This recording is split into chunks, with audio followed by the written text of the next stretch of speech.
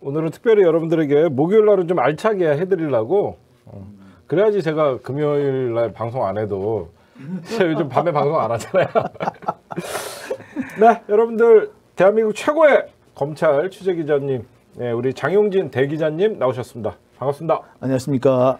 우리 둘이 방송 오랜만에 하는 것 같아요. 그렇게요. 그, 그때 우리 옛날에 진짜. 그 윤석열 징계한 밤새면서 서기호 변호사님이랑 네, 맞아요. 그때 한번 하고 나서 한밤중에 음. 거의 그 어, 가물가물해질 때까지 했었는데 그 이후에 했는데 제가 참 물어볼 것도 많고 제가 같이 의견 나눌 것도 있어요. 네. 근데 장윤진 기자님 일단은 그 요즘 회사에서 네.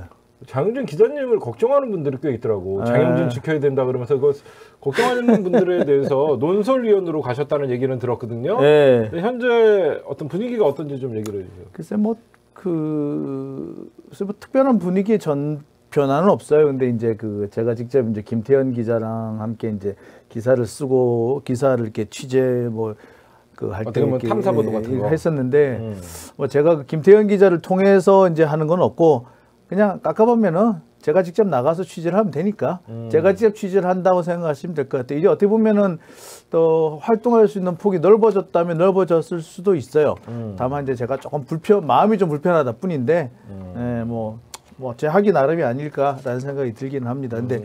뭐그 사이에 이래저래 여러 가지 얘기들이 좀 있긴 했었어요. 그래서 이제 뭐 그 회사의 뭐그 그 논설위원이 된 그게 아니라 음. 그 이후 그 이후에 다른 일들 때문에 조금 불편한 상황이 있긴 했는데 뭐 지- 현재로서는 제가 잘 어, 헤쳐 나가고 있다는 점 제가 꼭 그러면 그런 변화가 싶습니다. 아주경제의 어떤 그 사장단이나 임원진들이 좀 교체가 돼서 그런가요?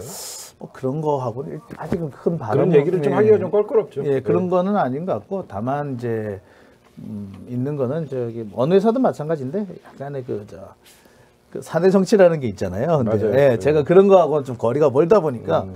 무슨 일이 벌어지는지 잘 몰라요. 네. 먼저 여러분들 궁금해 오늘 제목은요.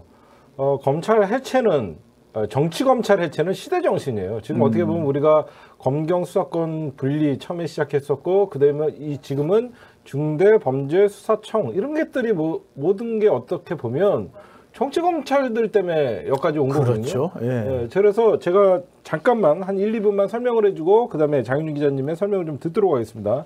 여러분들에게 제가 간단하게 검찰 개혁 시즌 1부터 좀 정리를 해드릴게요. 처음에 우리가 검찰 개혁을 외치면서 뭐 공수처가 통과되고 사실상 사실상 검경 수사권 분리가 처음에 벌어 일어났을 때 그건 뭐냐면 그 당시에 김부겸 행자부 장관과 박상기 법무부 장관이 검찰과 경찰의 수사권을 분리시키자. 그때 처음에는 완전한 검찰 경찰 수사권 분리를 하려는 마음이었었어요. 그러니까 경찰이 모든 수사를 하고 검찰은 기소만 하고 공소를 유지하는 그랬는데 검찰이 워낙 센 반발이 있다 보니까 그럼 6대 범죄 수사처는 검찰이 가지고 있어라라고 하면서 박상기 장관이 그 당시에 한 걸음 물러납니다. 여러분들이 좀 역사를 얘기해 주는 거예요. 그렇게 되다 보니까 검찰 입장에서는 사실상 6대 범죄 수사처가 특수부에 어떤 중첩되는 게 많기 때문에 못 이기는 척하고 검경 수사권 조정을 받아들인 거예요. 근데 그 6대 범죄 수사처 중에는 선거가 있고 그다음에 뭐 중대 범죄 여러 경제 사범 마약 막 들어가 있죠. 여기서 여러분들이 주목해야 될 것은 경찰이 선거 범죄를 놓지 않았다는 거. 그건 뭐예요? 정치에 개입한다는 소리거든요. 그래서 민주당에서는 1차 검경 수사권 조정이 올해 1월 1일 날 사실상 발의가 된 거예요. 그래갖고 이 검경 수사권 조정 즉 여섯 개의 중대 범죄 빼고는 나머지는 경찰이 수사한다가 되어 있는데 검찰이 하는 짓을 보니까 이 여섯 개의 중대 범죄 수사처를 갖고 있다는 것들에 대해서 별로 검찰 개혁이나 검경 수사권 조정이 일어나게 된 것 같지 않은 거예요. 그리고 국민들의 목소리는 나머지 여섯 개의 중대 범죄에 대한 검찰의 수사권도 이제는 폐지시켜야 된다. 딴 데로 이첩시켜야 된다. 그렇게 돼서 중대 범죄 수사청이 드디어 민주당이 발빠르게 들고 나온 거고 그런 들고 나오는 과정에 민주당에서는 다양한 목소리가 나오게 된 거고 이제 1월 1일 날부터 검경 수사권 조정이 시작했는데 좀 이 검경 수사권 조정이 안착한 다음에 2차 검찰 개혁을 가면 어떠냐라는 의견이 일부가 있었고 그 와중에 아니다. 지금 안 하면 안 된다. 이런 목소리가 부딪혔던 상황입니다. 그래서 현재는 민주당의 주류가 검경 수사권 조정에 있어서 중대 범죄 수사청을 신설을 해서 나머지 여섯 개도 갖고 와야 된다는 그런 현재의 상황인 거죠. 그래서 지금 장윤준 기자님, 네. 제가 이렇게 설명했는데 부족한 거 좀 네, 일단 뭐 거의 뭐 부족한 거는 없다고 보시면 현재 될것요 같고요. 스토리였고, 그렇죠? 네, 스토리는 딱 그게 맞고요. 네. 근데 이 부분을 놓고 음. 검찰 내부에서도 보면 드디어 음. 윤석열 총장에 대한 지적이나 비판이 나와요. 그렇죠. 드디어 네. 안 나올 수가 없죠. 벌써 나왔어야 되는데 그렇죠. 네. 무슨 얘기가 있느냐면은 이제 과거에 이제 검찰 고위직을 거쳤던 분들이 네네. 뭐라고 탄식을 하느냐. 20대만 맞고 끝날 일을 100대까지 쳐맞고 무장 해제되게 생겼다. 이게 윤석열이 해놓은 짓이다. 적당히 했어야지. 네, 적당히 하면 될 걸. 20대만 맞고 끝날 일 100대까지 맞고 네. 무장 해제까지 당하게 생겼다. 라고 표현하는데 너무 정확한 표현인 거죠. 예. 어떻게 보면 윤석열만 쳐맞아도 되는데 모든 검찰이 지금 다 그렇죠. 그렇게 된 셈이죠. 그리고 난 다음에 제가 이제 최근에 전직 검찰총장님한테 전화를 받았어요. 네. 그분 전화를 해가지고, 아, 장프로 요즘 뭐해? 요즘 장프로. 어떻게 돌아가나? 뭐 이러는데, 아, 그 그분들 표현이 그래요 항상. 예, 다 그, 목소리가 김치인데 음, 뭐 그럴 수도 있고요. 김태 그, 그 검찰총장 아니에요? 아니요, 아니요. 그분은 아니고. 하여튼 뭐 네. 좀 그래요. 예. 근데 그 그분이 전화를 하셔가지고 뭐 이런 게전 검찰총장이 장현진 네. 기자님에게 전화를 했어요. 예, 김태 그분의 목소리가 더 가늘어요. 에 그래요. 네, 네. 그래서 뭐냐면 내가 뭐 이런 장프로 요새 뭐 하나 이렇게 해요. 그분은 목소리가 그래요. 근데 목소리 근데 그분은 분- 아니고 예, 그분은 아니고 예, 예. 어떤 얘기를 들은 거예요? 뭐라고 하느냐면은 어, 결과적으로 윤석열이 검찰을 붕괴시킨 게 돼버렸다. 어. 제가 우리가 옛날부터 그 얘기했잖아요. 그렇죠. 결국에 붕괴시킬 거다. 윤석열에 예. 의해서 윤석열 때문에 망할 거다. 그래서요. 예, 네. 윤석열은 지키고 싶은지 모르겠으나 그렇죠. 지키겠, 지킨다고 전한리를 떠들지만 음. 결국 그것 때문에 망할 거다. 예. 왜 윤석열이 결과적으로 검찰 조직을 붕괴시켰겠다. 나름 자기는 검찰을 지키려고 노력했는지 모르겠는데 네네. 결과적으로 검사가 상관을 들이받는 문화를 보편화 일반화하고 말았다. 오. 맞잖아요. 과거에는 그런 거는 없었죠. 오 눈을 그 생각할 수가 없었죠. 정부에서도 그런 건 과거에 감히 누가 어. 총장은 장관과 대통령을 들이받고 그렇죠. 중앙지검장과 반부패부장은 총장을, 총장을 들이받고, 들이받고. 일선 부장검사는 지검장을 들이받고 이야. 일선 검사장은 특정 검사를 모아가지고 그 지목을 해서 아무렇지도 않게 욕을 하고 그런 거 보면 검찰들끼리 패싸움 난 거예요. 지금. 그렇죠. 예. 그렇죠? 심지어 어. 지금 수원지검 같은 경우에는 이정석 검사가 수원지검장을 수사를 하는 상황까지 벌어졌어요. 김학의 사건 관련해 가지고 그렇죠. 문홍성 수검 수원지검장을 수사하는 사람이 네, 됐는데 네. 이게 도대체 무슨 부- 이게 네. 무슨 이게 그 콩가루 집안도 아니고 이런 일이 어떻게 있을 수 있느냐? 윤석열 때문이다는 거죠. 이 윤석열 때문이다. 음. 앞으로 검사 통일체 혹은 뭐 그에 준하는 조직 어린 반푼어치도 없다. 음. 이제부터는 검사가 상관을 들이받는 일은 아주 일상화될 것이다. 음. 이렇게 되면은 우리가 알고 있던 검찰은 이미 끝났다. 그러니까 검사 종일체는 끝났고. 끝났다. 어. 예. 그런 얘기를 하시더라고요. 그래서 아 이미 정치 검찰, 그러니까 뭐 거- 검찰이 정치 검찰이 될 수 있었던 것은 그렇게 자기들끼리 똘똘 뭉쳐 있기 그렇죠. 때문인데 그게 더 이상 똘똘 뭉쳐 있지 않는 거예요. 그러니까 윤석열만 나가는 그 순간에 되면은 음. 검찰은 과거의 윤, 검찰과는 완전히 다른 곳이 될 것이다. 네네. 그리고 좀 제가. 이- 제가 취재한 바에 의하면요 장윤 기자님에게 제가 좀 팩트 체크해 주고 싶은 게 지금 검찰이 자꾸 아니 언론에서 이성윤의 반격 이래요. 근데 이 기사를 보면서 이성윤이 뭘 반격을 했지 마치 그게 아니라 원래 이성윤 지검장은 재수사 요구를 요, 요청을 그 전에 했는데 마치 수원지검에서 이성윤 지검장을 출석 요구서를 어, 보내니까 이성윤이 윤석열 장모 수사하라 이 타임이 바뀐 거 아닌가요? 맞습니다. 이게 뭐냐면은 윤석열 그러니까 저 이성윤 검사장은 네, 그렇죠. 그냥 순서대로 하고 있었어요. 그렇죠. 거기에 전혀 관심이 없던 언론이 갑자기 관심을 가지는 척하면서 네. 마치 이성윤 검사장이 이 수원지검의 김학의 건 때문에 그렇죠. 반격을 하는 것처럼 그렇죠. 얘기하는데 싸움 붙이는 거예요. 자 어. 제가 볼 때 두 가지의 오류가 있습니다. 네. 미리 말, 이 말해도 되는지 모르겠는데 첫째 질문 좋죠. 예. 예. 첫째, 음. 어, 이거는 벌써 그 전에 이미 그렇죠. 예, 이미 그 검, 검찰한테가 아니라 경찰한테 요청한 거고 네. 재수사를 요청을 했다라는 거는 뭐냐면 음. 검찰이 수사를 하- 이미 기소 의견으로 보낸 거를 네네네. 음. 재수사하라 했기 때문에 이게 수사를 가- 이게 기소가 안 될 수도 있는 거예요 오히려 어. 오히려 윤석열 입장에서는 그지 나쁘지 않은 상황이에요. 네네. 근데 그리고 또 한 가지는 이성윤 검사장은 지금 장모권에 집중을 안 하고 있어요. 음. 장모권은 아 신경도 안 써요 원래.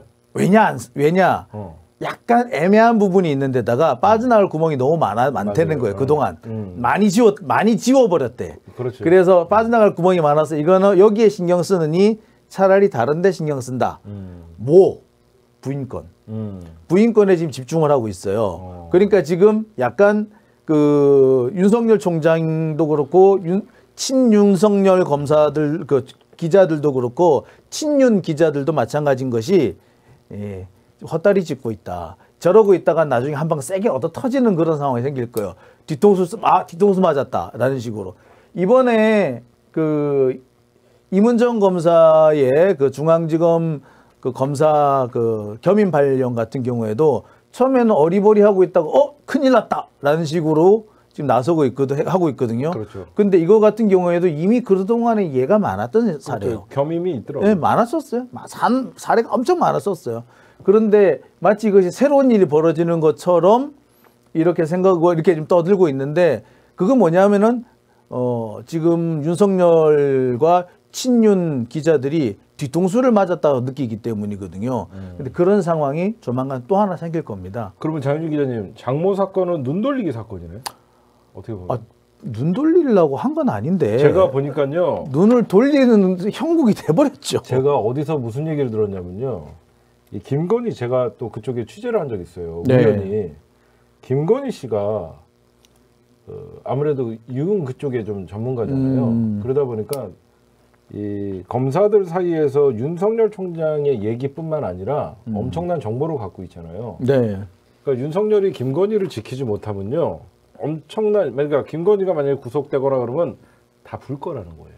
음, 아마 그럴 수도 있죠. 제일 무서워하는 게 그래서 제가 취재를 했더니 장모는 모른다는 거죠 디테일한 거를. 음, 근데 김건희를 안다는 거죠.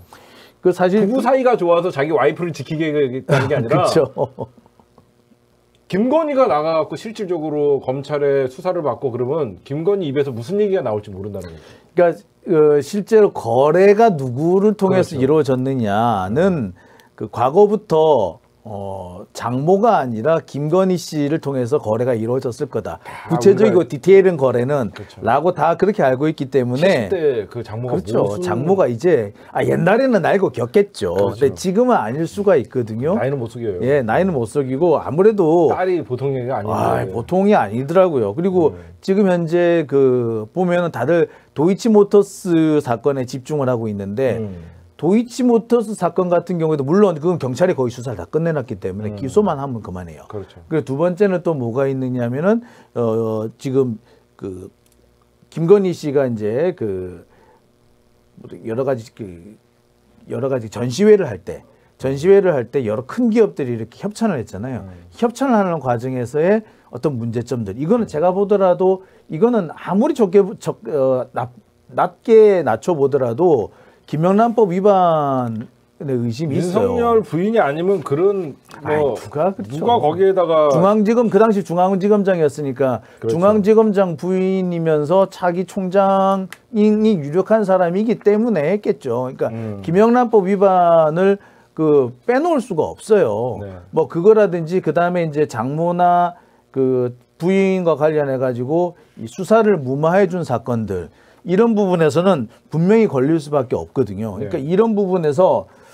어 본격적으로 이제 수사가 진행될 가능성이 높다. 네 거기 있고 좀 짚어보니까 그러니까 여러분들에게 좀 정리를 해드리면요 이성윤 지검장이 김학의 출국 금지 사건 때문에 어 장모 사건을 재수사를 요청한 것은 언론이 이거는 명백한 그 잘못된 프레임이에요 이성윤의 반격이 아니라 이성윤 검사장이 먼저 어 이 재수사를 지휘를 했었고 그 이후에 수원지검에서 출석 그렇죠. 요구가 왔다 그리고- 타임라인이 바뀌었다 그리고 재수사 요구가 그렇죠. 윤석열한테 불리한 사안도 아니에요. 그렇죠. 예. 네, 이렇게 보고 그다음에 저거 여쭤보고 싶어서 오늘 급하게 우리 장윤 기자님한테 이제 중대범죄수사청이 네. 실질적으로 제가 생각할 때는요 중대범죄수사처가 이제 나머지 검찰에 갖고 있는 여섯 개의 수사권을 갖고 오는 거거든요. 그렇죠. 근데 결국은요, 제가 오늘 영장 청구권도 좀 분산해야 된다. 왜 그러면 장윤진 기자님이 법조 기자이지만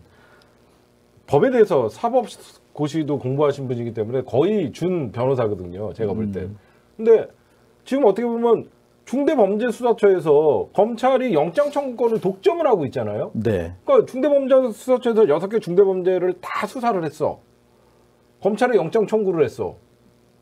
키가 이거에 대해서 민주당이 토론을 하고 있대요. 음. 제가 다행인 게 중대범죄 수사를 하는데 영장 청구권도 없는 거야. 음. 그래서 지금 어떻게 보면 검찰이 기소권도 독점하고 있지만 영장 청구권도 독점하고 있는 거에 대해서 저는 그거 물어보시고요. 장윤 기자님, 영장 청구권을 검찰이 독점하는 게 어떻게 보면 더 좋은 점과 어떻게 보면 이걸 좀 나눠줘야 되는 건지 경찰한테도 줘야 되는 건지 또 민주당 의원들 중에서 제가 얘기해 보니까 경찰한테 영장 청구권을 주면 안 된다는 분도 있어요. 그러니까 기존의 경찰한테 주면은 안 된다라는 의견이 나온 게 당연했어요. 어. 기존의 경찰. 그렇지 기존의 경찰. 네, 근데 기존의 경찰한테. 수사처에는 줄만한 거 아니냐? 그렇죠. 중범죄 수사청에는 줄만하죠. 그렇죠. 그러니까 그 부분, 그러니까 하- 이게 중범죄 수사청이 한국형 FBI라고 얘기를 하잖아요. 그렇죠. 그러니까 어, 그게는 줄만 하고요. 그 다음에 또 뭐가 있느냐면은 이것이 영장 청구권을 바로 주지 않는다 하더라도 네. 다른 방법이 있을 수 있어요. 우회하는 방법. 예를 들어서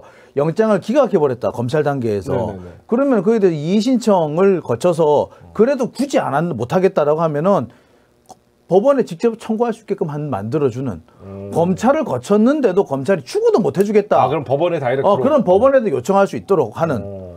그러면 법원에서 어 그래? 그러면은 어 지금도 보니 일종의 재정 신청 같은 거예요. 네네. 재정 신청도 보면 지금은 검사가 하도록 돼 있는 어, 그 검사가 기소하지 않은 사건에 대해서 음.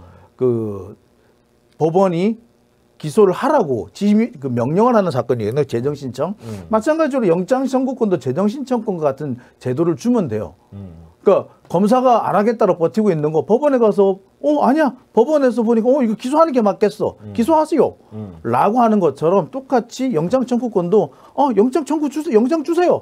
라고 할 수 있는 그런 영장 청구 재정 신청 제도를 만드는 것도 괜찮다고 생각해요. 지금 민주당에서 이 중대범죄수사처를 신중하게 하고 있더라고요. 왜냐하면 네. 잘못하다가는 이게 또 무소불위에 그렇죠. 그럴 수가 있기 때문에. 중대범죄 중에 선거가 포함되어 그렇죠. 있어서 그러니까 말씀드렸듯이 재정 신청을 볼 수도 있고요 음, 영장 청구권을 주는 거에 대해서는 어떻게 생각해요? 그러니까 영장 청구권을 이제 직접 주는 방법도 있겠고. 그다음에 또 한 가지는 재정 신청이라는 우회하는 방법, 간접적으로 주는 방법도 있고요. 네네. 저는 그렇게 두 가지 다뭐 개囊일단 있어야 된다고 필요하다. 예, 있어야 된다고 그렇죠. 봐요. 제가 예. 봐도 중대범죄수사처에서 추구라고 수사했는데 검찰에서 영장 기각해 버려요.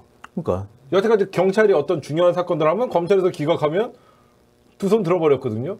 그러니까 어디든 간에 음. 그 어느 나라든 마찬가지 모든 제도가 마찬가지인데 불복 제도라는 게 있어야 돼요. 네네.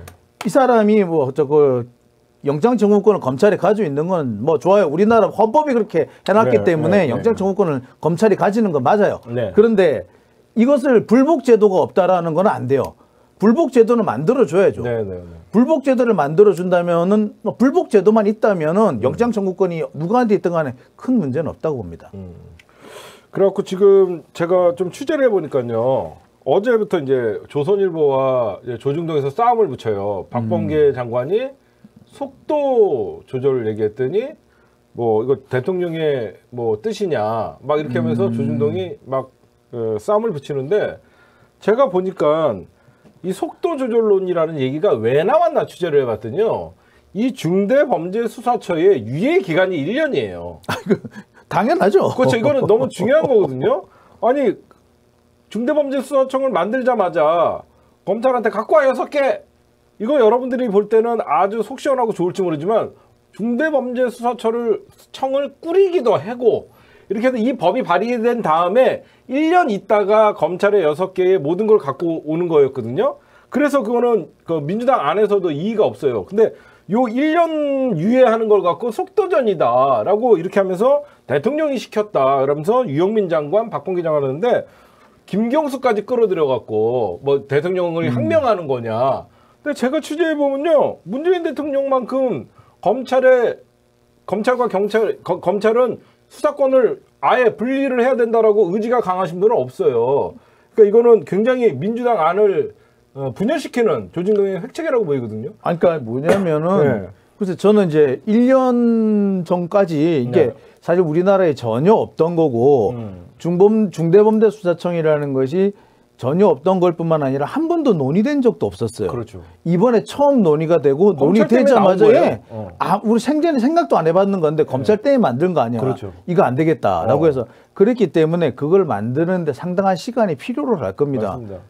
적어도 1년은 필요할 거예요. 그리고 지금 사실 검경수사권 조정도 지금 이제 하고 있는 건데 그러니까. 이것도 아, 고착화 잘 안정화되는 것도 보면서 중대범죄 이것도 그래서 유예기간 그렇죠. 1년을 준 이거는 건데. 그렇게 해야 되는 거거든요. 그러니까 속도 조절의 문제가 아니고 이거는 잘못하면은 이제 사실 그 수사권이라는 거는 국가의 중대한 근간이 되는 사안인데 그렇죠. 이것이 이제 그 차분히 이게 지켜가면서 이것을 제대로 제대로 만들지 않으면 정말 괜한 논란거리가 될 수도 있단 말이에요. 그러니까 이걸 차분히 잘 이렇게 그큰 문제 없이 진행하기 위해서는 시간이 좀 필요할 수도 있어요. 그 문제를 가지고 그게 1년이 될 수도 있고 조금 더 걸릴 수도 있고 한데 그 부분을 가지고 속도 조절론을 그걸 거기다 갖다 붙이는 건 아니라고 봐요. 그리고 대통령이 했다는 식으로 오보를 쏟아대요. 그건 오- 야 이거 아니 확인할 수 없으니까 이것들이 막 질러대는데 두 가지죠. 이건 오버임과 동시에 오보죠. 그렇죠. 이거 결국은 저거예요. 어, 민주당에서 다양한 목소리가 나오는 거는 너무 당연한 겁니다. 뭐 어떤 개혁을 위해서는 여러 가지 아이디어가 나오고 장윤진 기자님이랑 저랑도 이거 만약에 어떻게 하면 좋아요? 요런 방법이 나오고 요런 방법이 나올 수도 있고 쟤네들의 어떤 저항이 나올 것이다. 이런 것도 다 다양한 목소리가 나오는 거예요. 그 가운데 제가 취재를 해보면요. 전혀 민주당은요. 3월 늦어도 2월 말 3월 초에는 이 중대 제- 중대범죄수사청을 어, 출범을 하고 검경 수사권 조정의 2차 검장, 검찰개혁 시즌2를 법안을 발의한다는 거엔 전혀 이의가 없어요. 그 누구도.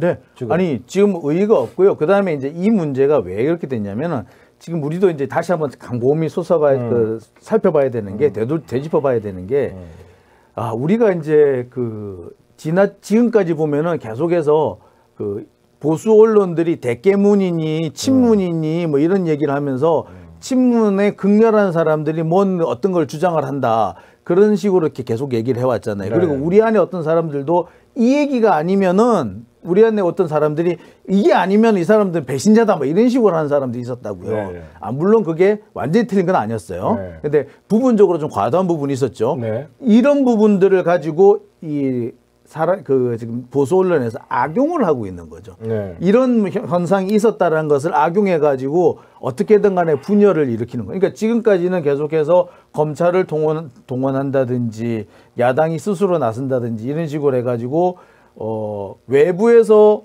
그 민주당 그 집권 세력을 분열을 시키려고 하고 그, 그 민주당 그 집권 세력을 그 부수려고 했다면 이제 내부 분열 책동으로 가고 있다. 모든 그런 책동들이 다 실패를 에, 에, 실패를 하게 되니까 이제 내부 분열을 조장하는 쪽으로 지금 흘러가고 있다. 그러니까 여태까지. 민주당과 당정청 관계가 너무 원활하게 일사불란하게 움직일 때는 민주당은 청와대에 이중되냐 그러다가 하고 예. 이제는 다양한 목소리가 나오니까 대통령도 항명하고 걷어차고 뭐 레임덕이냐 그러니까 거예요. 레임덕을 자꾸 만들고 싶어 그렇죠. 해요. 레임덕을 만들고 싶어 하는 거거든요. 예, 자꾸 레임덕이래. 무조건 레임덕이래. 45% 레임덕이 어디 있어요? 아니, 그러니까 뭐, 어, 어, 아니, 딴 사람도 아니고 비서관 한 명이 그만둔 데 레임덕이라 그러질 않나.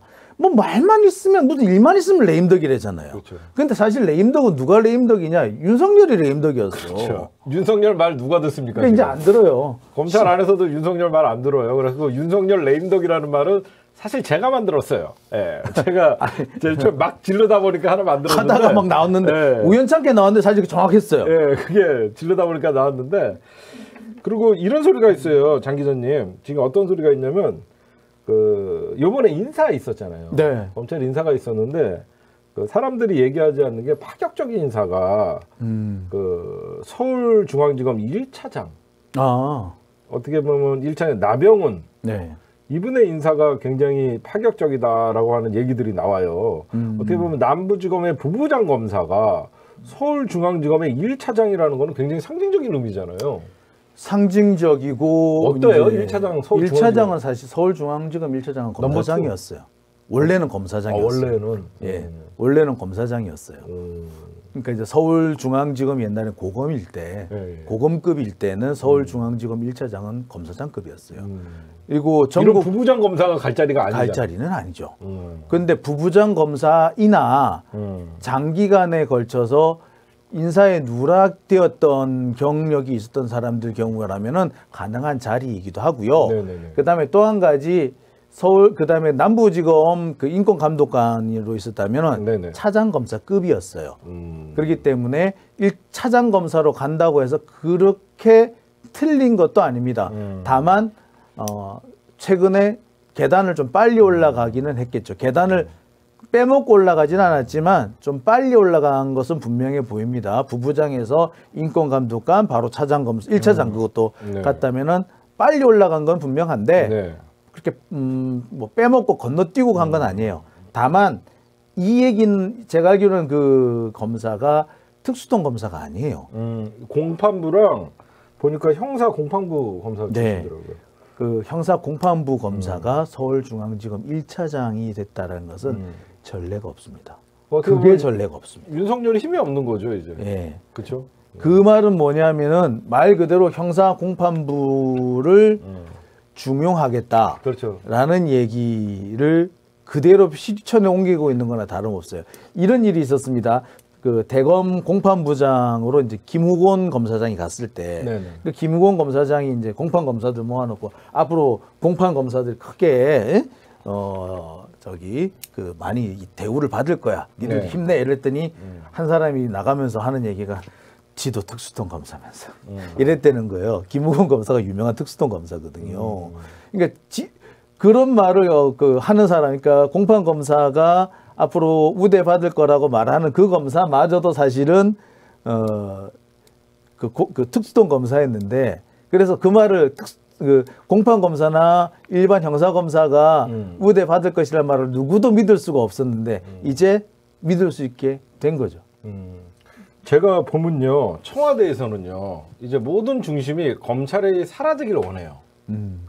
자꾸 검찰이 정치권의 중심에 떠오르면 대통령 국정 운영에 전혀 도움이 안 돼요. 안 되죠. 그러니까 민주당이 알아서 180석의 힘을 가지고 검찰 개혁은 그냥 순조롭게 해나가면 되고 대통령은 코로나와 국정과 민생을 보이는 하는데 그래서 사실상 박봉계 장관이 뭐 검찰 인사 이번에는 사실 포인트 원 포인트 인사라고 보여지거든요. 제대로 된 인사는 이제 7월달에 윤석열이 나가고 나서 제대로 된 인사가 나오기 때문에 저희가 볼 때는 지금 모든 중심이 여태까지 어떻게 보면 추미애 장관과 윤석열의 대결 구도를 언론이 만들어내면서 국정 운영이 국회나 청와대가 아닌 검찰에 향하고 있어서 윤석열의 지지율이 올라갔었거든요. 그렇죠. 제가 뭐 몇 번 여러 차례 말씀드렸지만 그렇죠. 지금 2019년 이후에 실제로 야당의 역할을 누가 했느냐? 검찰이 했다. 음. 검찰당이요. 네, 검찰당이었다. 음, 음. 그리고 이제 그렇다면은 어, 검찰을 더 이상 이대로 둬서는 안 되는 거 그렇죠. 아니냐? 음. 검찰이 뭐 어떻게 된 이유이든 검찰이 이렇게 된다. 정치권 정치 세력화 할 수 있다면 그렇죠. 검찰 어떻게든 간에 분산을 하고 지금의 검찰 제도를 개혁해야 한다. 그렇죠. 그래서 이제 지금 같이 이제 개혁이 착착 진행되고 있는 거잖아요. 음. 근데 이제 이게 사실 정말 문제가 뭐냐면 대통령에 대한 이 평가는 그 사람이 국정 수행을 어떻게 했느냐를 가지고 평가를 내려야 되는데 지금 대통령에 대한 평가를 어떻게 해야 되느냐 하면은 지금 부대타를 어떻게 진압을, 진압을 했느냐를 가지고 해야 되는 상황이 돼버렸어요. 이거 상당히 부, 불행한 일이거든요. 사실 그 코로나를 어떻게 지금 잡아, 잡고 있느냐. 그래서 경제를 또 어떻게 해서 운영을 잘하고 있느냐. 이걸 가지고 평가를 해야 되는데 좀 엉뚱한 걸 가지고 검찰 때문에 지금 이 난리를 하는 건 사실 별로 바람직한 상황은 아닙니다. 지금 벌써 왜 윤석열의 레임덕이라는 소리가 나오냐면 조남관이가 설치는 걸 보면 윤석열 레임덕은 맞아요. 지금 조남관 대검 차장이 추미애 장관이 물러나고 나서 이제 본격적인 처음에는 친정부 검찰인 척하다가 결정적일 때 검찰의 편에 윤석열 섰다가 편을 들다가 어, 자기는 검찰주의다다 얘기하면서 사실상 지금 차기 검찰총장을 노린다는 소리가 있어요. 아, 그러니까. 자기가 지금 총장이 될 것처럼 된 것처럼 움직이고 있죠. 예. 그거 알고 계시죠? 이제 이게 이제 조남관 어떻게 봐요? 우리 장, 장윤 기자님. 지금 사실 신현수 민정수석이 어, 국정원 기조실장 할 때 조남관과 같이 거기서 국정원 개혁을 했었어요. 맞습니다. 그러고 있다가 사실 그 이쪽으로 그 신현수 민정수석이 오니까 얘가 아싸 기회다라고 생각했는데 지금 오히려 신현수 민정수석이 시작부터 좀 삐그덕거리면서 조남관이가 지금 어떻게 될지 치고 나가고 예. 있는 거죠. 지금 근데 이거 이 과정을 놓고 지금 어 이제 노무현 정부 때 민정수석을 하셨던 어떤 분이 한숨을 쉬시는 거예요.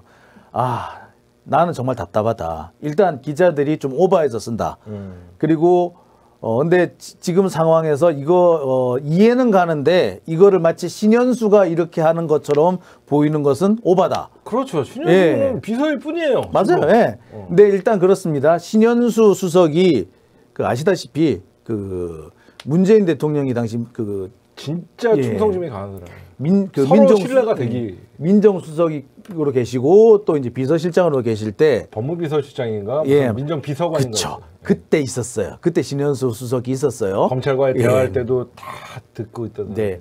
그리고 그때 같이 있었던 사람이 이성윤 지금 서울중앙지검장이에요. 거기에다가 지금 법무부 장관 박범계예요. 예, 그렇죠. 예, 어 정확하게 하시네. 그 다음에 또 이제 신현수 수석이 국정원 개혁을 할 때 옆에서 함께했던 사람이 조남관인 거죠. 자, 이 사람들의 관계는 불렀죠. 예, 이렇게 서로 이렇게 연결이 돼 연결돼 있습니다. 예, 연결이 돼 있어서 서로가 서로한테 될 수 있는 대로 도움이 되고 싶어요. 음. 그리고 서로가 서로한테 웬만하면은 어그 경쟁은 하는데 상처를 주고 싶어 하지는 않는 상황이에요. 칼을 꺼내지는 않아요. 예. 서로. 그런데 이거를 마치 자기들끼리 싸움이 난 것처럼 이성윤하고 조남관이 싸움이 난 것처럼 음. 그리고 또는 여기에서 신현수가 누구의 편을 드는 것처럼 기자들이 기사를 쓰고 있는데 음. 이거는 완전히 순 사기다! 그렇죠. 라고 얘기를 합니다. 음. 자, 그리고 요, 요건 한 가지 한 가지 두시고, 그 다음에 또 한 가지는 조남관이 지금 현재 자신이 거의 검찰총장이 된 것처럼, 그렇죠. 예, 오만방자예요. 말안 해서 그런지 들리는 소리가. 그렇게 나서고 있는데 그 음. 이유는 두 가지. 첫째, 뭐 한 가지라고 볼 수도 있겠네요. 어, 윤석열 총장 때문이죠. 그렇죠. 오로지 윤석열 총장, 야, 내가 너 밀어줄게 한 거예요. 아니, 그러면 이성윤 검사장은 이성윤 검사장이야말로 가장 그 눈에 띄는 차기 후보 아니냐라고 하는데 어, 윤석열 검찰총장이 이성윤을 잡아뜨릴 보관을 하나 가지고 있는 것 같아요. 그게 뭐냐?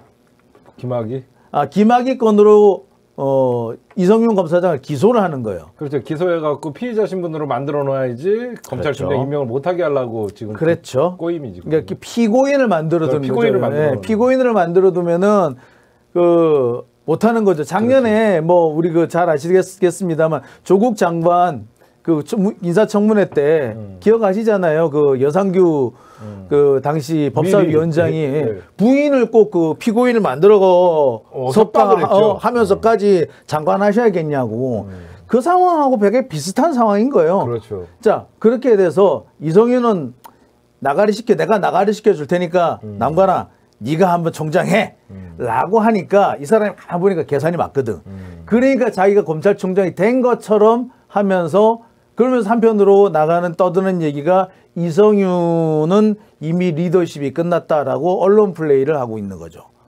그랬는데 어 쉽지는 않을 겁니다 저는 글쎄 아니 쉽지 않을 거가 아니라요. 지금 박범계 추미애 장관 전직 장관들이나 조국 장관님 전직 장관들 그리고 현재 뭐 신현수 민정수석이 어떤 분인데 이 사람들을 오버하는 거예요.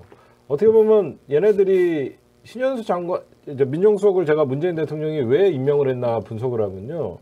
어떻게 보면 이 검찰이 또 다시 대선에 개입할 소지가 충분해. 제가 여기저기서 들으니까 이낙연이 됐을 경우 캐비넷, 이재명이 됐을 경우 캐비넷 이런 것까지 착실히 준비했다는 소리가 있어요.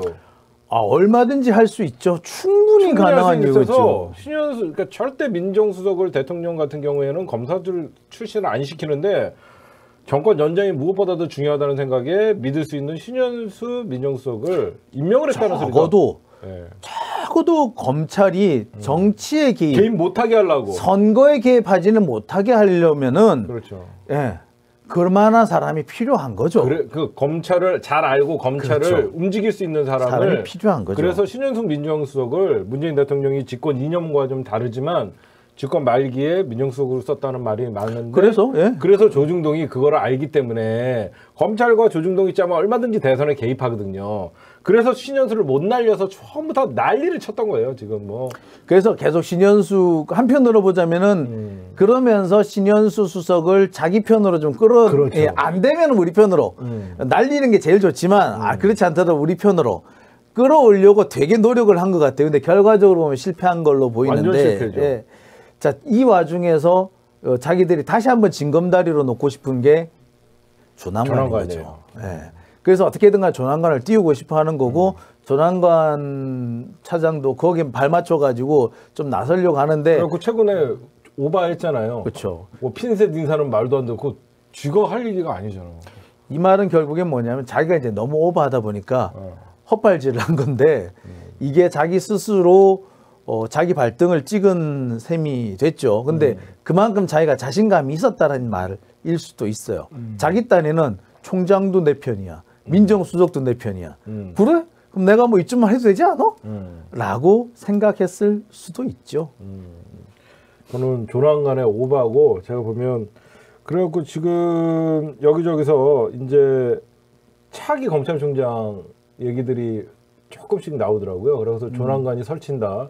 우리가 이미 벌써 조난간을 저격을 하기 시작하면 조난간은 안 된다고 봐요. 안 되는 거죠. 안 된다고 봐야 되는 거고 이미 너무 빨리 본인의 정체를 들어했는데 우리 장윤정 기자님 같은 경우는 이성윤 주검장이 우리 같은 경우는 좀 유력하다는 얘기들도 있는데 뭐 정부 많- 입장에서도 한 임명 그 임명하는 자체를 못하게 하려고 지금 윤석열이가 아까 이 네. 코 걸어놨거든요 피의자 네. 신분으로 전환하려고 이것도 제가 알아봤더니요 어, 어떤 뭐 출석을 안 한다 그게 아니라요 서울중앙지검장으로서 스케줄이 있잖아요. 그래서 일정 조율을 하는 거라서 아, 요 시간은 안 돼. 뭐 이런 거라서 얘기를 통보를 해줬더니 그 제가 이제 저희가 이제 안 그래도 그쪽하고 연락을 해가지고 얘기를 했어요. 그랬더니 일정 조절 기간인데 그거를 마치 안 나간다고 얘기했다. 19일 날 수원지검에서 찾아와가지고 네. 내일 출석하세요 그러더래요. 음. 근데 19일 날 내일 출석하세요 하면 토요일이에요. 음, 음. 20일이니까. 우리 같은 사람들도 약속 있으면 못 나가죠. 그래서 야 이게 말이 돼? 오늘 와가지고 내일 오라 그러면 되니? 음. 그랬더니 22일 날 와가지고 모레 출석하세요 그러더래요. 24일이잖아요. 야 적어도 고발장 열람 복사는 해줘야지. 그러니까 예 해드릴게요. 23일 내일 오세요. 그래서 23일 날 가가지고 열람 복사를 해왔대요. 그래가지고 보고 있는데 갑자기 24일 날 오늘 오라 그랬는데 안 왔대 안 왔어요라고 하면서 피의자로 신분 전환합니다 라고 퍼뜨렸다는 거예요. 그런데 자 여기서 일단 이게 이제 언론 플레이의 하나죠. 그렇죠. 그다음에 또 한 가지 참고인에서 피의자로 신분 전환됐다라고 하는데 이것도 웃기는 거예요. 왜? 피고발인은 원래 피의자예요. 음. 피고발인에서 그게 피고발인이기 때문에 피의자 신분 전환이란 말 자체가 어불성설이에요. 어? 그냥 원래 그런 거예요. 근데 이거를 마치 큰 일이 있는 것처럼 했다는 걸 뭐냐면은 내가 무슨 일이 있어도 이 기소하려고 그래. 음. 라는 것을 지금 표출을 그걸 이렇게 미리 언론 플레이를 하는 거예요. 검찰이 윤석열도 제가 보면 막 가는 사람이 돼서 뭔가를 준비는 하고 있을 것 같아요. 그냥 이대로 주전치는 음. 그렇죠. 안 하려고 하는 것 같고 근데 제가 알기로는 그렇습니다. 물론 이성윤 검사장이 뭐 현재로선 가능성이 제일 높으나 어, 외부에서 데려오실 수도 있어요. 일단 예, 지금 이 앞에 이제 18기에서 그 문무일 검찰총이 18기였는데 그렇죠. 그래서 23기 너무 확 내려와 버렸거든요. 네. 그렇기 때문에 다시 윗기수로 올라갈 수도 있어요. 22기로 다시 올라갈 수도 있어요. 음. 그래서 그 부분에 대해서는 뭐, 어, 폭은 넓다. 오히려 그 다음에 검찰총장을 꼭 검사 출신에서 하라는 보장이 있나요? 아니거든요. 그러니까 다양한 변수, 다양한 그 인물 폭이 있을 수 있다. 따라서 뭐, 그, 너무 그, 지금 인물을 미리 그 함화평을 하는 건 조금 이를 수도 있다라는 생각이 듭니다. 이거 하나만 좀 설명해 주세요. 검언유착 사건 지금 아예 언론 보도에서 사라지고 이 변필건 아시죠? 네. 변필건 서울중앙지검 부장검사가 어떻게 보면 검은 유착 사건 무혐의 내려야 된다 달라고 했었죠. 했던 네. 사람이고 이 사람이 이번에 인사 이동 요청을 했대요. 네. 근데 거기서 지- 그 서울중앙지검 네, 요 이사- 얘기가 어, 그거- 재밌는 게 어, 그거 좀 해주세요. 참, 정말 재밌는 게 그렇지, 이게 막 서로 검- 중앙지검 안에서 싸움이거든요 예. 이게. 예. 이게 이제 크- 이게 변필건 검사가 한데 한때 그 소위 말하는 친윤 언론에서 엄청난 영웅으로 떠올랐었죠. 그렇죠. 네. 근데 변필건 검사 당사자는 되게 힘들었나 봐요. 그치 자기가 봐도 이거는 좀. 어.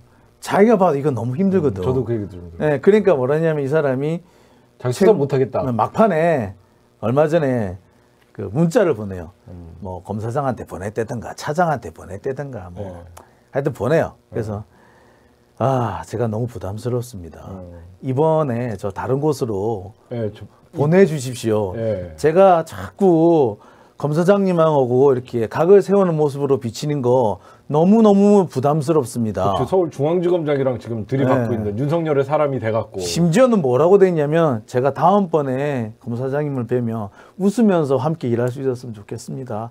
라고까지 했어요. 그러니까 이 사람도 굉장히 이 사건에 대해서 부담을 느끼는 부담을 거지. 느끼는 거죠. 윤석열은 계속 무혐의 처리하라라고 저- 보이지 않는 압박을 가하고 그래서 자기는 검찰 동일체로서 그렇게 했더니 중앙지검 자기 직접 상단은 이성윤인데 그렇죠. 대립각 세우기가 얼마나 같이 밥 먹으면서 얼마나 힘들었겠어요. 불편한 자리죠. 죽겠죠. 그러니까 그래서 인사 이동 요청을 했다. 아, 차라리 나 이쪽에서 떠나겠다. 어. 차라리 나 좀 옮겨달라라고 했는데 결국에 윤석열 때문에 못 움직인 거예요. 네. 자 그런데 지금 상황은 어떻게 됐느냐? 자 이제 급하지 않게 됐습니다. 네. 그 전에는 이 여러분 이동재 기자가 이제 구속 중일 때는 보통 구속 중일 때는 그 6개월 안에 선고를 내려야 돼요. 그렇죠.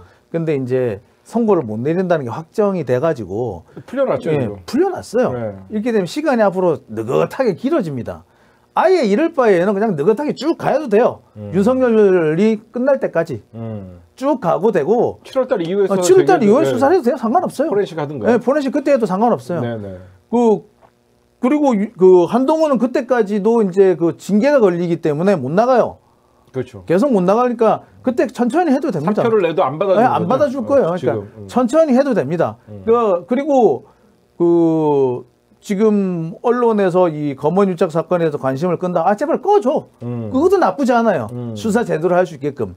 그러니까 언론에서 관심을 어, 이상하게 가지면 네. 그래서 심지어 그 언론이 수사 방향을 정해주듯이 음. 하면은 그거는 수사를 방해하는 거거든요. 음. 그런데 지금 같은 상황이라면 차라리 예, 그 언론이 관심을 끄고 수사가 좀 진행될 수 있게끔 내비두는 것도 나쁘지 않다. 네네. 예, 그리고 아마 지금 방향은 그렇게 될 걸로 보입니다. 음.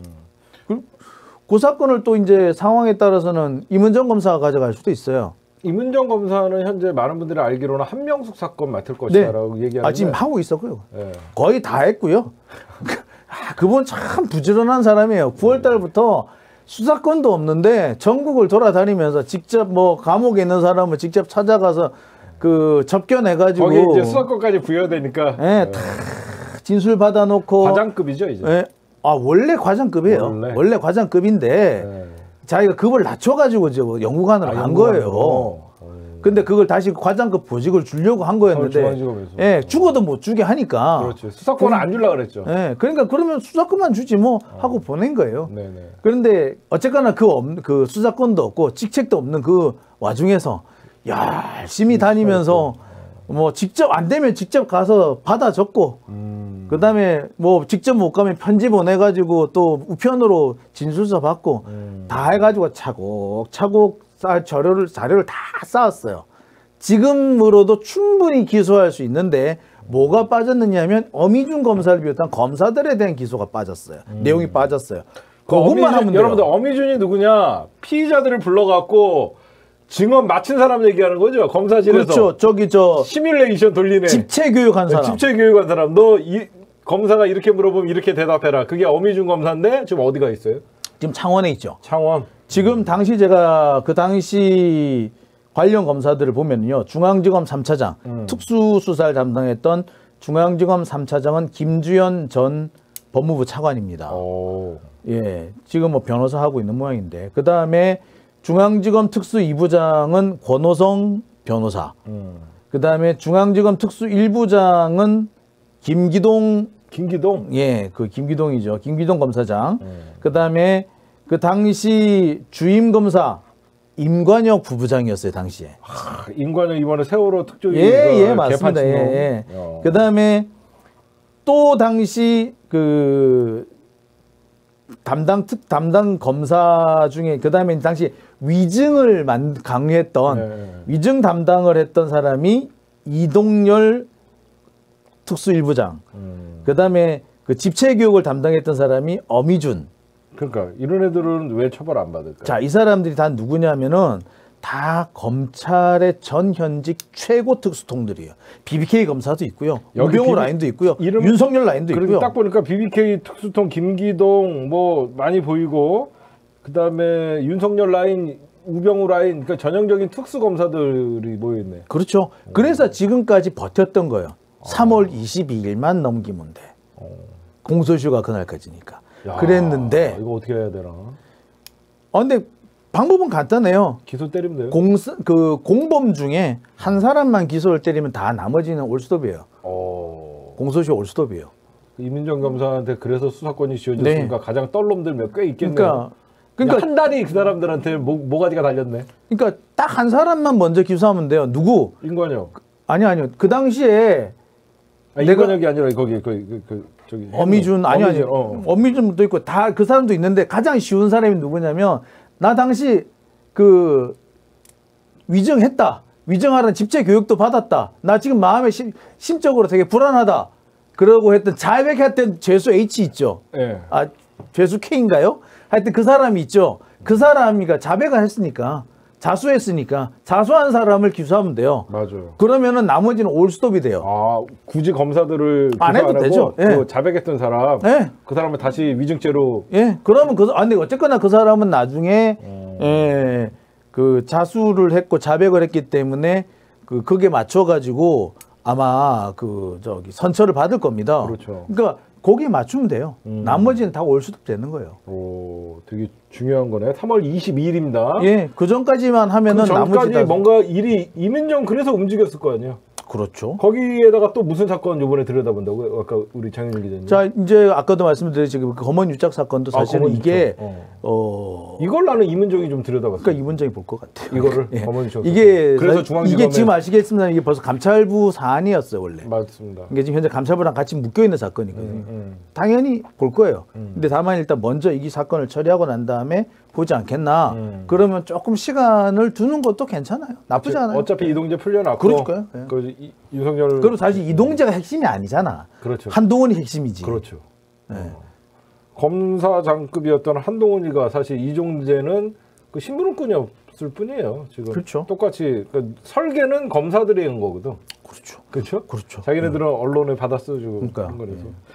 네, 우리 여러분들 장영진 기자님은요 앞으로 왜냐면 그, 이 제가 오아시스에 출연은 못하지만 우리 장영진 기자님과 평소에도 통화를 하면서 검찰에 대해서 저희가 좀 의견도 교환을 하고 김태훈 기자나 이걸 하는데 좀 서로 이렇게 얘기를 하면 돼요. 어, 검찰에 대해서 좀 한동훈이는 계속 연수원에 계- 있는 건가요?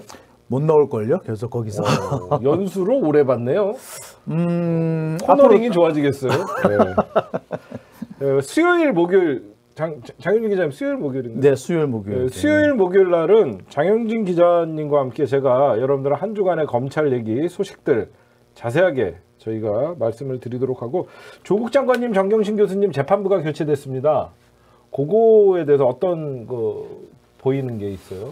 음, 정경심 교수님 재판부는 아예 임정혁 판사나 이런 김선희 판사 이런 쪽에서 다 교체가 됐고 조국 장관님 재판부도 좀 영향이 있다라고 하면서 저쪽에서는 진해가 송인권 판사 바뀔 때는 언론이 조용하다가 이번에 임정현 판사나 이런 사람들 재판부 바뀌니까 또 무슨 친정부 판사들 뭐 하면서 난리를 쳐요. 그때는 너무 기준이 달라져 이 새끼들이 보니까.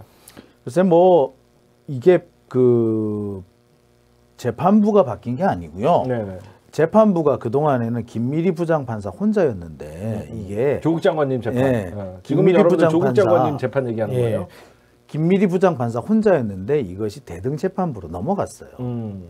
그랬으면 이거는 그래서 김미리 부장판사도 있으면서 대등재판부가 된 거예요. 이거- 대등재판부라는 게 뭐예요? 이제 대등재판부는 그 부장판사 세 명의 부장판사가 함께 아. 에, 나누는 그, 그 원래는 주심 있고 배석이 배석 판사 있는데. 이거는 대등 판사라고 재판장이 있고 이제 배석 판사가 있어가지고 이게 경력차가 10년 이상 나요. 그렇죠. 근데 대등 재판부가 되면은 보통 뭐 1, 2년 차이에 거의 대등한 사람들 대등한. 사람들이죠. 다 부장 판사들인 아, 거죠. 급으로. 그걸 대등 재판이라고 대등 재판부라고 하는데 음. 그렇게 되면은 이제 세 사람이 정말 합의를 해서 그렇죠. 판결을 내리는 게 될 거예요. 그러니까 네네네. 김미리 부장 판사가 그대로 있으면서 네네. 대등 재판부가 됐어요. 그러니까 다른 재판부 부장 판사 두 사람이 들어온 거예요. 음. 문제될 거 하나도 없고요. 그걸 굳이 그걸 왜 시비거리로 삼는지는 모르겠네요. 그러니까 말도 안 되는데 일단 시비거리로 삼아서 어, 뭔가 문제가 있는 것처럼 그 이미지만 풍기려고 한 게 아니냐. 그래도 김미리 부장판사는 판결이 그래도 가장 현명하게 잘 내리는 분으로 제가 좀 보고 있거든요. 그렇죠. 네. 근데 저는 사실 오히려 김미리 부장판사 혼자가 했어도 오히려 괜찮았는데 네. 괜히 대등재판부 됐나 좀 뭐 찝찝해요. 오히려. 저도 오히려 예, 오히려 찝찝합니다. 혼자 할 때도 더 잘했는데. 더 잘하는데. 정경심 교수님 재판부도 이제 변호가 있더라고요. 어 이제 항소심이 제가 보면 빨라야 재판부 구성이 3월. 네. 첫 재판 몇 월 달이나 볼까요? 3, 4월이나 볼까요? 3월 달 되면 시작되지 않을까 그렇죠. 제가 싶어요. 봐도 예. 합력 저기 정경심 교수님 항소심 재판은 3월 달에 에, 지금 예, 아마 예. 재판부가 꾸려지고 있을 거고 날짜가 잡히면 구속 된 경우에는 네네. 일단 6개월 안에 재판을 끝내야 되기 때문에 네네네. 일단 뭐그 최대한 빨리 진행이 된다라고 보시면 돼요. 그래서 네네. 아마 3월 되면 이미 시작이 빨리 시작될 거라 보고 네. 어이 고법에서도 대등재판부가 네. 우- 우- 운영이 되는 걸로 들었어요. 네. 그러니까 이 말은 뭐냐면은 사실 1심에서 대등재판부인 경우에는 고법에 가서 잘 깨지 못합니다. 어. 그런데 그 고법에서 또 대등재판부가 만들어졌다는 것은 뭐냐면 깰 수도 있다라는 걸 의미하는 거죠. 오. 그러니까 어, 상황이 좀 어 좀 뭐 기대까지는 모르겠지만 뭐 그렇게 아니 나쁜 이렇게 상황은 최악이 어디 있었습니까? 지금보다 나쁠 수는 없을 것 같아갖고 제가 좀 알아보면 어 1심 일단 항소심이 끝나야지 보석 청구를 하든가 뭔가를 할 수 있다라고 하더라고요. 네, 그렇죠. 그래서 그게 빨라야 6월, 7월 어떤 그렇죠. 예. 그래서 그러면 구속 7월 정도 될 것 같네요. 그렇죠 7월 정도. 그러면 구속 기간 6개월이 넘어가 버리는데. 거의 뭐 거의 아마 꽉 채울 걸로 꽉 보여요. 채우고 항소심이 그것도 재판부가 보석을 받아들일지 안 받아들일지 그것도 봐야 되는 거고. 그러니까 6개월이 지나면은 이제 일단 풀어 주긴 해야 돼요.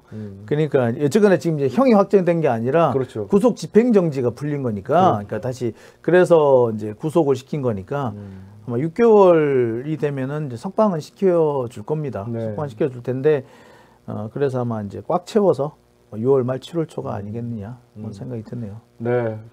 우리 장현주 기자님 이렇게 힘든 시간에 힘드실 텐데 요즘 낮에 저희 우리 시청자들 뵈니까 너무 지금 이 시간에도 5천 명이나 보고 계시는데 여러 바- 여러 가지 방송들을 하고 있는데 장윤진 기자님 나오니까 시청률이 확 올라가네요. 감사합니다. 장윤진 TV 요즘 9시쯤 생방송 언제 언제 하죠? 예, 요새 지금 월요일 날 하고 있고요. 음. 어, 월요일 9시쯤. 9시쯤에 하고 네. 있고요.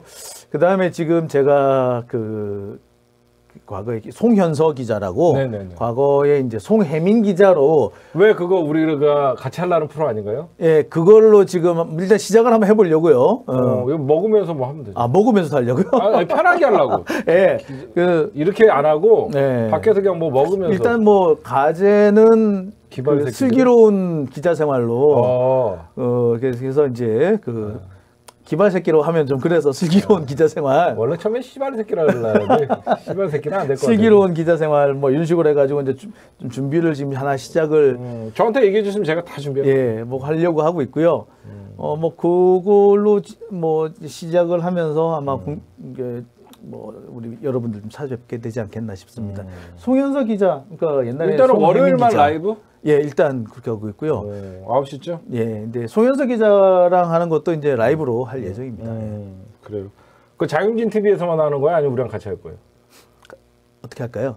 아니 같이 하면 좋죠. 같이 하죠, 그러면. 네. 같이 해. 왜 그러면 여기서 촬영하는 게 좋으니까. 아, 그렇죠. 예. 촬영해서 그렇게 동시동출하면 되니까. 그, 그 송혜민 기자, 송현서 기자 집이 광명이라 여기 오면 더 좋아할 거야. 아마. 왜 그러면 동시동출하면 아무 이상 없거든. 아, 그쪽은 그 괜히 그 뭐 방송 준비하고 힘들잖아.